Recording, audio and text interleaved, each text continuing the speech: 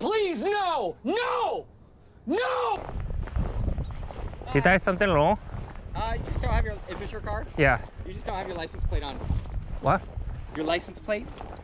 It needs to be on your pass. Oh, I have to be right on? Mm. You mean? Yeah.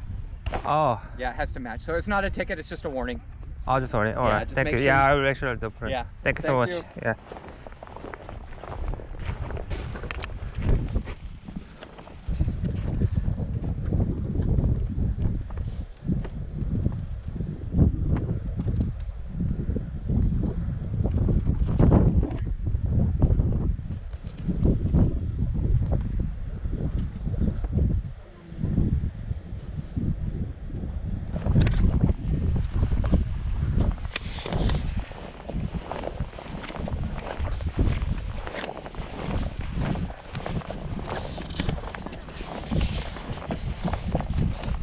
Sir, so I have some questions. So, Yeah. do I have to call to report? Sorry, I, I have to keep distance from people. Uh, yeah. No, just just I, I, what I do is I, I write a warning Uh-huh. and I record that I warned your vehicle in case I have to see it. If I, in case I see it a second time, you Oh, can get a okay. ticket a second time.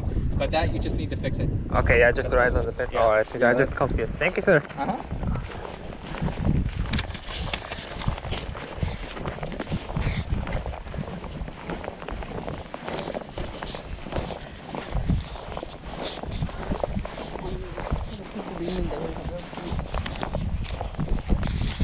warning이래, warning. warning.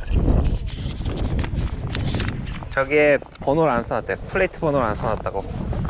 이 plate 번호를 저기다 써놔야 되는데 안 써놨다고. 어 그래요? 네, 그걸 원 티켓은 아닌데 또 걸리면 그때 티켓이래. 어 그래요? 네.